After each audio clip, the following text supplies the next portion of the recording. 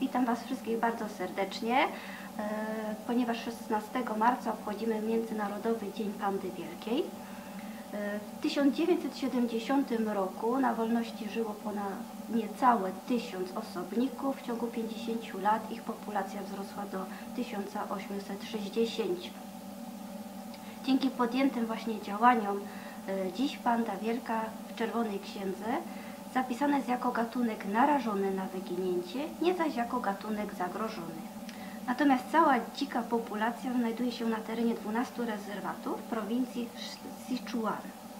Pandy, choć są drapieżnikami, żywią się przede wszystkim bambusem, e, którego dziennie zjadają około 14 kg. Do menu pandy zaliczamy także jaja, e, drobne gryzonie oraz ryby. Osiągają 150 cm wzrostu i wagę 150 kg. Żyją na wolności około 20 lat. W ramach dzisiejszych zajęć chciałabym Wam przeczytać bajeczkę Urszuli e, Morga, Panda Bonia. Opowieść o małej pandzie, która bała się wchodzić na drzewo. Panda Bonia nie różni się niczym innym od innych pand. Tak jak inne pandy, lubi wędrować po lesie i wcinać pędy bambusa. Uwielbia bawić się w chowanego. Zdarza jej się znaleźć tak doskonałą kryjówkę, że Adek, brat Boni, musi jej szukać przez wiele godzin. Na pewno schowałaś się w tych krzakach, krzyczy i biegnie sprawdzić, czy jest tam Bonia. Ale Boni tam nie ma. Nie ma jej ani w krzakach, ani za kamieniem, ani za pagórkiem. Adek rozgląda się dookoła i zastanawia się, gdzie Bonia mogła się tym razem schować. Na pewno nie znajdzie Boni na żadnym drzewie, ani na tym najbliższym, ani w tym w oddali. Jest jednak coś, co odróżnia Bonię od innych pand. Panda Boni nie wspina się po drzewach. Boniu, spróbuj, mówi Adek. Pandy chodzą po drzewach. Nie będę chodzić po drzewach. Nie potrafię, odpowiada Bonia. Ale możesz się nauczyć, przekonuje mama. To bardzo proste.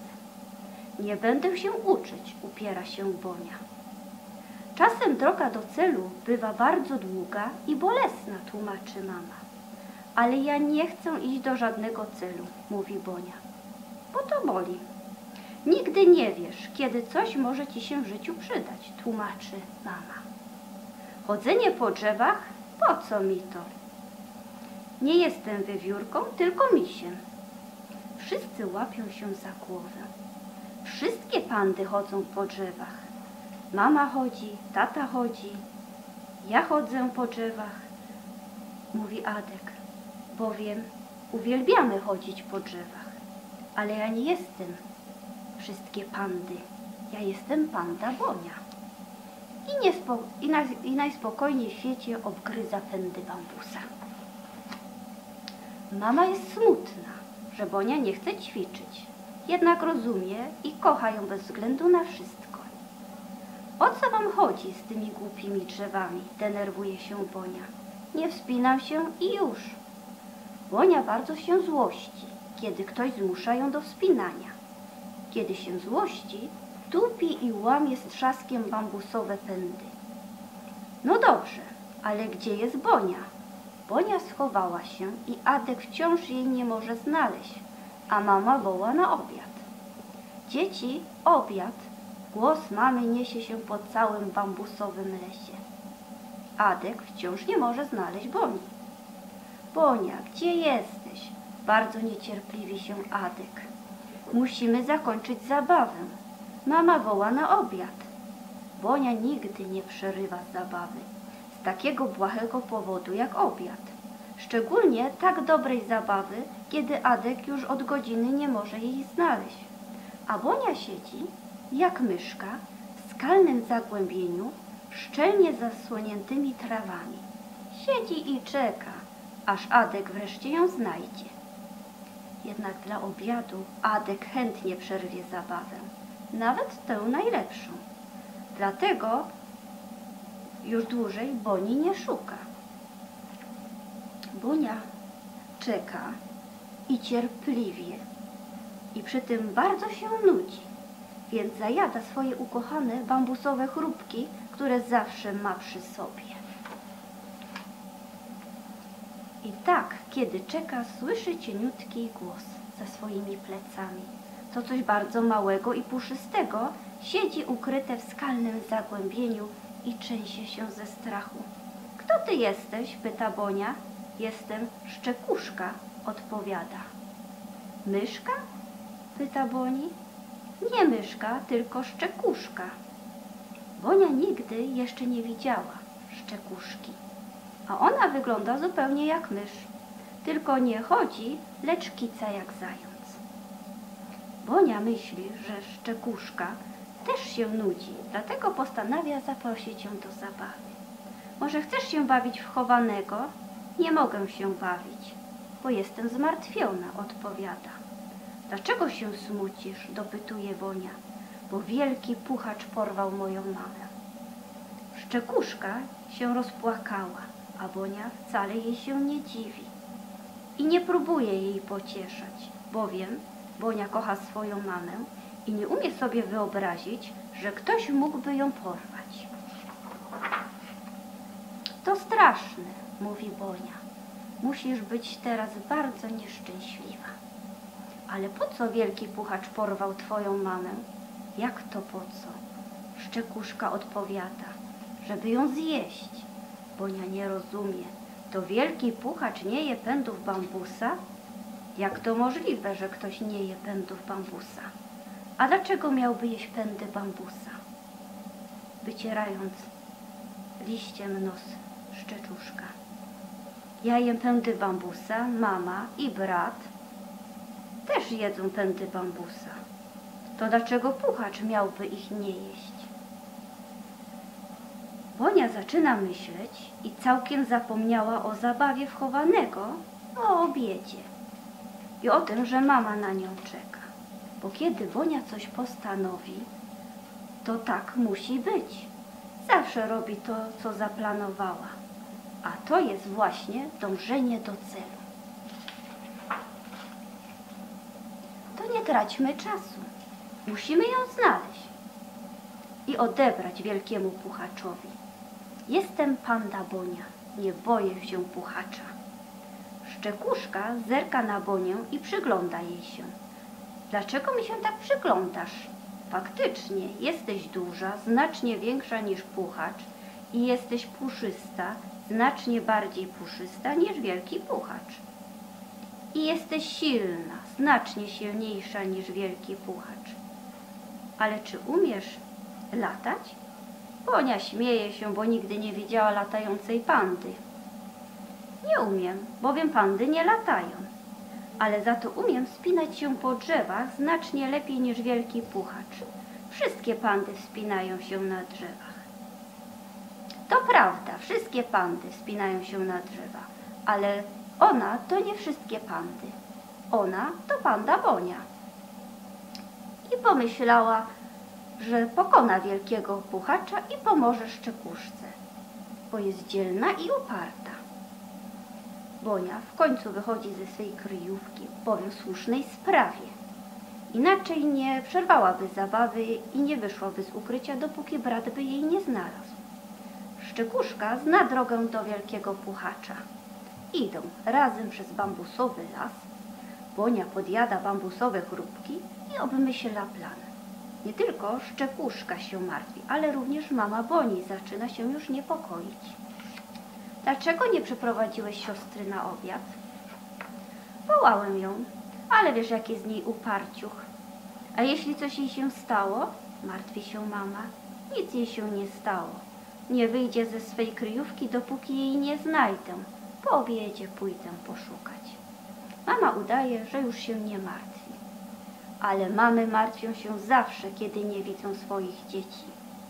Mama chodzi wokół stołu, przestawia talerze, zamiata podłogę i w końcu zaczyna robić na drutach ciepłe szaliki dla swoich dzieci na nadchodzącą zimę.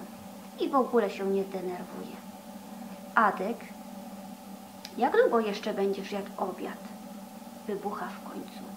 No dobrze, odpowiada Adek i wyrusza w stronę, gdzie zakończyli ostatnio zabawę z Bonią. Tymczasem Bonia i Szczekuszka dotarły już do gniazda wielkiego puchacza. Pokaż mi szybko, gdzie on jest. Rozprawię się z tym puchaczem i wracamy do domu.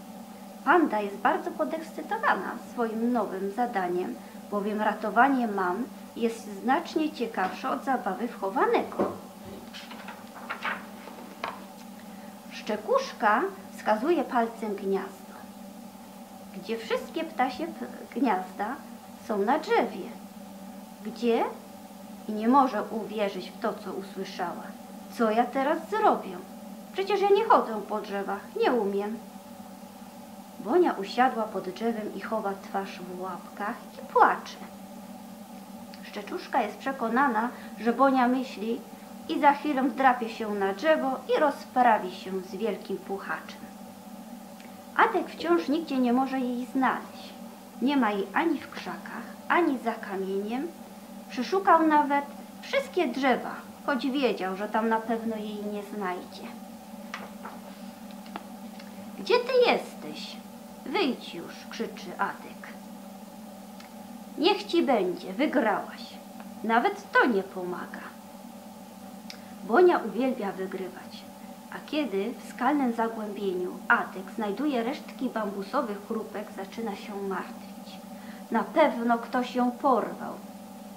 Bonia siedzi właśnie pod drzewem i płacze, na którym jest gniazdo wielkiego puchacza.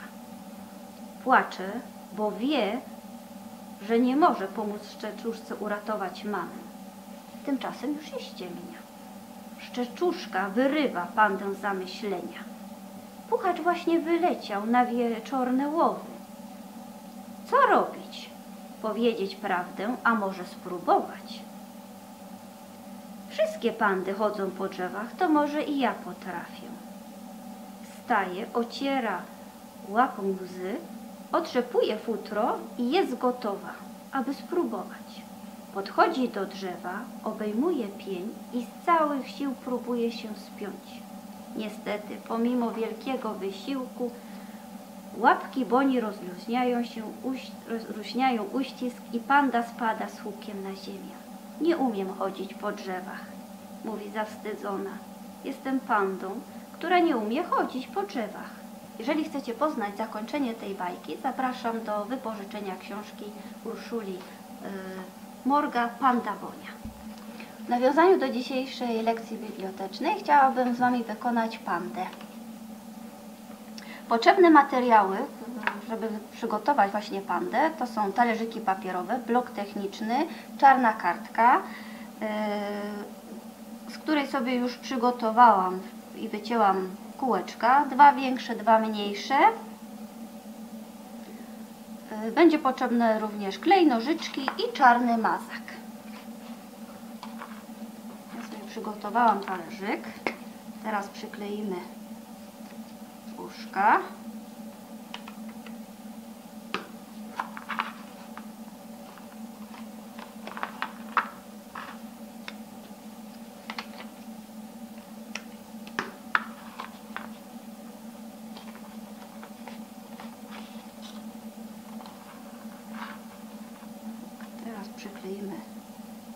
tá?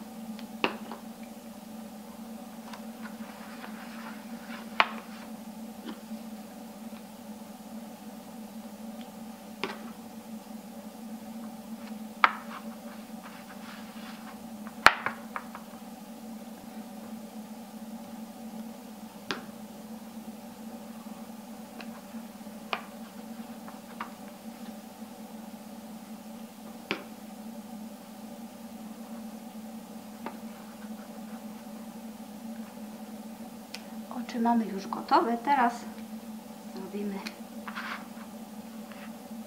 buźkę.